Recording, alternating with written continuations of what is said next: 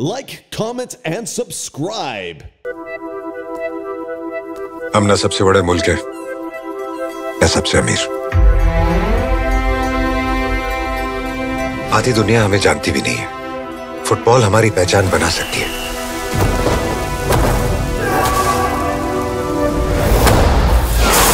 क्योंकि सारी दुनिया फुटबॉल खेलती है।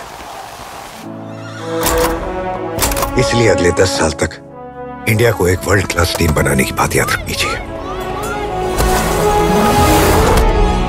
Trust me, this is just the beginning of the golden era of Indian football. आपके शोहर आ गए। सौत है हमारी आपकी ये फुटबॉल बन गई आपकी टीम रविंद्र जी मैं ऐसे प्लेयर्स ढूंढ रहा हूँ जिन्हें मैं किसी भी पोजीशन पे खिला सकूँ। लेकिन हमें गोलकीपर थोड़ा लंबा चाहिए।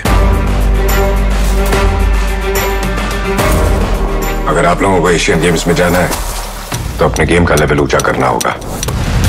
मिस्टर एस ए रहीम मैंने सुना तो कि सिकंदराबाद का झोपड़पट्टी से किसी लड़का को उठा लिया है। उन्नीस साल का एक लोकल टूर्नामेंट खेलने वाला लड़का को स्ट्राइकर का पोजीशन पे।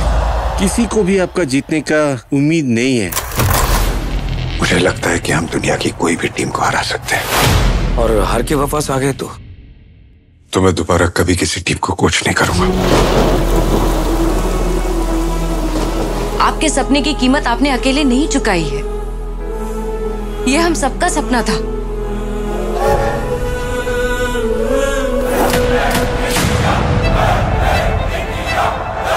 सरकार को तुमसे मेडल की कोई उम्मीद नहीं। जीत पाओगे?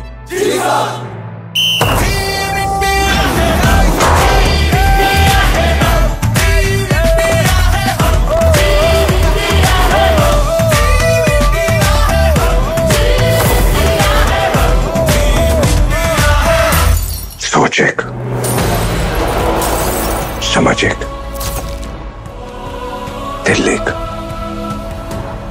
इसलिए आज मैदान में उतरना क्या रहा?